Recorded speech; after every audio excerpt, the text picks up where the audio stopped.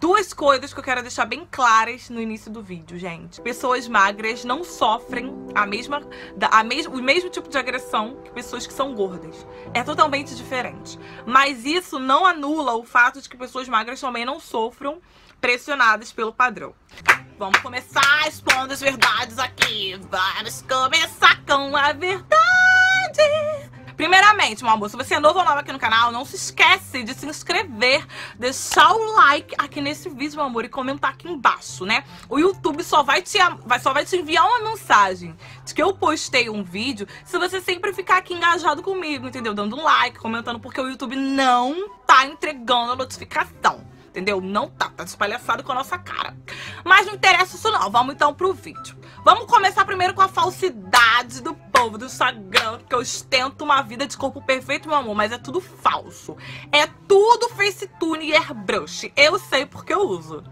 Claro que eu uso, porque às vezes minha cara aqui, ó, fica com esse treco aqui, eu vou lá, tch, tch, tch, passo facetune e acabou, meu amor. Mas o problema é que as pessoas vivem só baseadas em funções de facetune entendeu? E acabam vendendo uma imagem pra você mesma aí de que a vida, entendeu? É um corpo perfeito e uma foto maravilhosa na praia. Porque eu fico boba com o povo que passa o dia inteiro na praia, tem um feed de praia. Eu falo, gente, o povo não tem trabalho, não tem livro pra ler, não tem uma roupa pra lavar, não tem nada. Não tem nada, é o dia inteiro no Instagram. Mas o que, que eu vim contar pra vocês, gente? Que eu recebo todos os dias mensagens, porque aqui no canal, assim que eu criei o canal, eu postei um vídeo sobre corpo. O terceiro vídeo, se eu não me engano, acho que foi o terceiro vídeo. O terceiro vídeo bombou, porque eu mostrei pra vocês como que eu ganhei 10 quilos, entendeu? Todo mundo me pergunta, Camila, como você fez pra engordar? E eu vim dizer pra vocês, gente, que mesmo tendo engordado 10 quilos, eu continuo totalmente diferente, eu continuo magra. Primeira coisa que eu tenho que falar pra vocês aqui é que quem é magro não sofre a mesma dificuldade que pessoas que são gordas, gente. Não adianta ficar, ai, mas eu sou magra, mas eu sofro isso aqui. Gente, nós sabemos que pessoas magras sofrem, mas pessoas gordas sofrem muito mais ainda com os padrões. Porque o padrão, né? O padrão é magro. É o carro do gás. Então, gente, pessoas magras sofrem, mas não sofrem na mesma proporção que pessoas gordas. Entendeu? Entendeu? O que acontece? O povo do Instagram fica o dia inteiro vendendo a imagem pra gente de corpo perfeito. Eu tô aqui, ó, acabada, porque o povo do Instagram, gente, não tem aquele corpo, gente. É facetune, é facetune. Vocês acham que eu aqui, vocês acham que eu não tenho estria e celulite? Tenho, mas vocês acham que eu vou ficar preocupada com isso? Não, não vou ficar preocupada. Vocês estão cansados de ver que às vezes eu chego aqui no vídeo sem maquiagem. Hoje Logo hoje que eu tô gravando esse vídeo eu vim maquiada, mas eu venho aqui, meu amor, sem maquiagem nenhuma, com a cara, entendeu? Colocada no sol, que eu jogo minha cara pro sol. Vocês acham que eu fico aqui no meu canal? Já falei pra vocês, gente, que aqui vocês não vão ver luxo dessas coisas de começar com cílios super maquiados, não sei o quê. Eu não tenho paciência pra essas coisas, gente. Não tenho pra ficar o dia inteiro maquiada, vendendo a imagem de... Ai, tô perfeita aqui com o meu rosto. Não é, porque não é verdade. A gente tira foto, vou tirar uma foto, se eu tirar uma foto hoje, vou tirar várias, vou aproveitar uma maquiagem, entendeu? O povo aproveita a maquiagem, tira várias fotos, entendeu? Com vários looks e vai postando durante a semana, entendeu? Aí você acha aí na tua casa que o povo tá aí na badalação, que sai, que vai pra vários lugares, tudo mentira, gente, tudo mentira. Vi um vídeo aí da menina da Elari, Elore, não sei o nome dela, que ela postou um tour pelo corpo dela e eu fiquei de cara. De cara com a coragem que as pessoas têm de vir aqui na internet, entendeu? Mostrar a realidade entendeu? Porque a gente fez, a gente faz coisa, a gente solta pum, a gente tem meleca no nariz e ninguém, todo mundo gosta de passar aquela imagem de princesinha da Disney. Eu sempre tive muito complexo com o meu corpo, gente. Eu sempre tive, porque eu tenho a perna fina.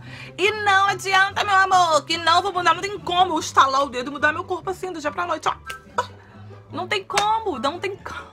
Quais são os defeitos do meu corpo, gente? Eu sempre tive complexo começando com o meu cabelo. Que o meu cabelo, gente, pelo amor de Deus, era. Eu achava a derrota. Vocês nunca queriam me ver com o cabelo assim, ó. Na vida, nunca, meu amor. Ali na escova, o dia inteiro só na escova. Passava prancha, chegava a cair cabelo, gente. Minha mãe já me queimou brau. Brau era um treco tão antigo. Minha mãe já tacou aqui na minha orelha, já me que... já queimou minha orelha, porque eu não gostava de alisar o cabelo. Aí ela vinha com brau entendeu? Tacava no meu cabelo. Meu nariz... meu nariz, meu amor, aqui, ó.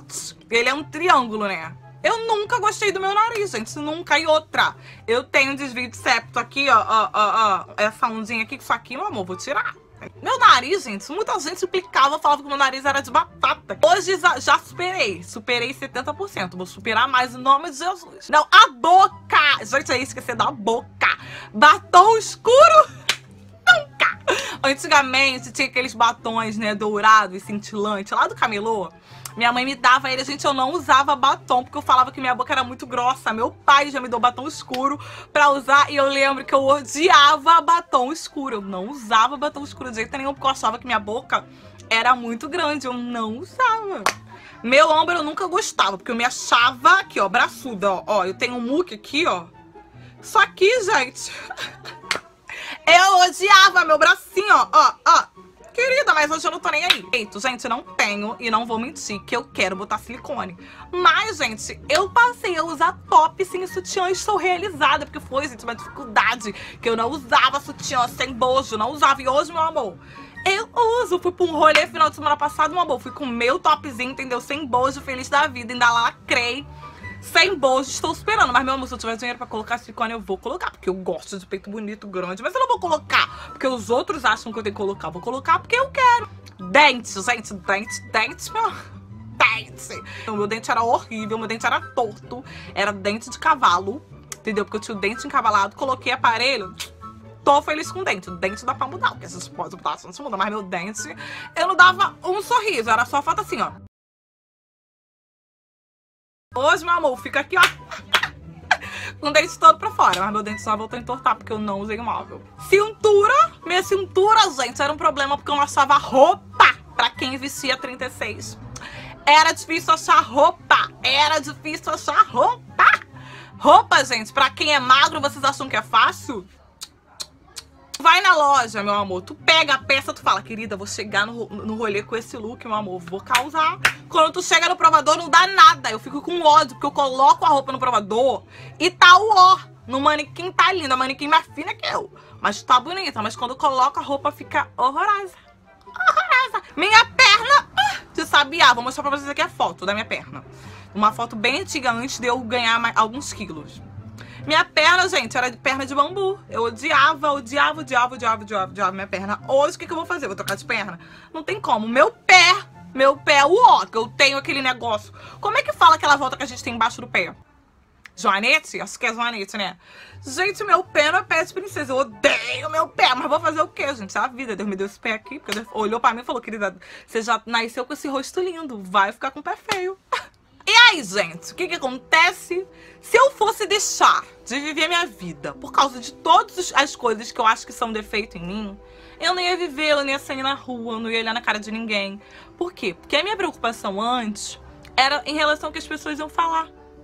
Só que hoje, meu amor, que eu sou universal, minha vida tá transformada. Brincadeira.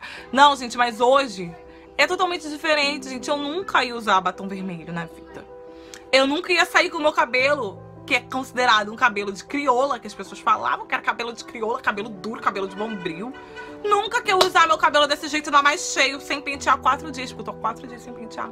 A coisa que eu reclamava era a minha altura, gente, porque eu sou muito alta. Eu tenho 1,79m. Eu odiava ser alta, mas meu amor, hoje eu uso salto, querida. Uso salto bonita. Não quero nem saber se a pessoa que tá do meu lado vai ficar mais baixo que eu. Vou usar. Diariamente eu recebo várias mensagens, assim, não é uma, duas, três, não. São várias mensagens, várias mensagens de meninas me perguntando como que eu fiz pra mudar meu corpo em pouco tempo, como que eu fiz pra ganhar 10 quilos em tão pouco tempo. Eu vou voltar, eu vou contar pra vocês primeiro um pouquinho sobre a história, né, a história do meu corpo. Eu sempre fui muito magra, gente, sempre fui muito magra, sempre fui magrela, né, sempre tive a perna fina. E pra mim isso nunca foi um problema, gente. Por quê? Porque eu sempre quis ser magra. Porque meu sonho, gente, meu sonho de infância era ser, gente, modelo. Eu me espelhava na Naomi Campbell, gente. Nela e na conta bancária dela. Só que, né, gente, a gente convive com pessoas. E pessoas são que terríveis. Por quê? Porque pessoas têm língua e elas não conseguem guardar a língua dentro da boca. Então, conforme a gente vai crescendo, as pessoas vão fazendo comentários sobre: nossa, você tá com 17 anos, ainda não se desenvolveu, nossa, você ainda continua magra, o tempo tá passando e você tá parada. Como assim? E quando a gente começa a dar ouvido para o que as pessoas falam, a gente vai começando a se preocupar com coisas que a gente nem se preocupava. Às vezes você deixa de usar uma roupa que você gosta de usar porque você fica preocupada com que a fulaninha, a vizinha que tá lá do outro lado da rua, vai falar de você. Então, gente, começou tudo por isso. Eu acabei criando um complexo na minha cabeça de que eu era muito magra, de que eu não me encaixava no que era considerado um corpo bonito e acabei ficando neurótica. Só que, gente, eu até deixava de ir pra academia porque eu ficava com vergonha de ser magra. Mas na verdade, a pessoa que vai pra academia, ela vai por dois motivos: pela saúde, né? E pra transformar o corpo. Eu queria ir pra transformar o corpo, mas eu tinha vergonha de ir por causa do meu corpo. Então é algo que você fica dentro de uma bolha que você não sai. Cara, você deixar de ir pro lugar por causa do seu corpo. Praia, tem gente que deixa de ir pra praia por causa do corpo. Mas na verdade, na verdade, não é por causa do corpo. As pessoas estão com vergonha de sair porque o fulano vai olhar pro seu corpo. Tem muita gente querendo baixar o Chico Xavier, entendeu? E querendo definir o roteiro da vida da fulaninha do lado. Você tem que parar de se preocupar com o que as pessoas vão falar. Mude, mas mude por você, não porque os outros vão falar que você tem que mudar. Gente, a gente sabe que as pessoas são realmente maldosas, as pessoas falam, as pessoas não têm controle da língua, as pessoas não têm controle da ação, das palavras que elas podem causar em outras pessoas. Então, o que, que a gente pode fazer? Parar de dar ouvido para certas pessoas, parar de se preocupar com o que a televisão mostra, com o que a internet mostra, porque não é real, gente. E aí você começa a entrar no Instagram, se você for no Instagram, tem uma lupa, tem um pesquisar que é o tal do explorar do Instagram. Se você sentar a bunda na cadeira e você começar a mexer no celular, você vai ficar o dia inteiro vendo fotos de várias pessoas super felizes com seu corpo na praia, mostrando aquele bronze. E não tem fim. É um explorar que não tem fim. E eu cheguei num determinado momento da minha vida que eu tava vidrada naquilo. E parece que é tudo muito fácil. Parece que é tipo assim: vou entrar numa dieta que Fulaninha indicou e daqui a um ano meu corpo vai estar tá daquele jeito. Gente, não é assim. E quando as pessoas não conseguem é, mudar seu corpo através de uma alimentação que várias pessoas pregam dizendo que é super fácil você abolir, deixar de comer bolo de chocolate, deixar de comer fritura, deixar de comer salgadinho. Quando as pessoas percebem que é muito difícil e com elas não tá dando resultado, acabam partindo para cirurgias plásticas. Não tem problema nenhum, gente, você fazer uma cirurgia plástica nem nada. Mas o problema é que as pessoas vivem litradas naquilo. Todo mundo tem estria, todo mundo tem celulite. Tem gente que diz, ai, homem não gosta de estria, homem não gosta de celulite. Primeiro, que o corpo é seu, quem tem que gostar é você. E outra, macho que não gosta de estria, meu amor, ele tem que comprar uma boneca. Porque mulher, toda mulher tem estria e tem celulite. Acabou esse mito de que não tem. Se você quiser mudar, você pode mudar o seu corpo. Mas ninguém é perfeito, gente. A vida do povo não é só corpo bonito. O povo que você vê na internet que tá com corpo bonito, às vezes é facetune. Agora, se você quer mudar por você, siga em frente. Vá numa nutricionista para você engordar ou emagrecer. Vá pra uma academia porque faz bem, entendeu? Então, assim, para de se preocupar. A chave, gente, para de se preocupar com a vida do. Para de se preocupar com o que os outros vão falar da gente. Quando a gente parar, a nossa vida vai ficar muito mais leve. Então é isso, gente. Espero que vocês tenham gostado do vídeo de hoje. Não se esqueçam de curtir aqui embaixo, entendeu? Deixar o like no vídeo, comentar aqui pra mim pra gente entrar num debate sobre esse assunto, tá bom? Beijo, até a próxima. Tchau!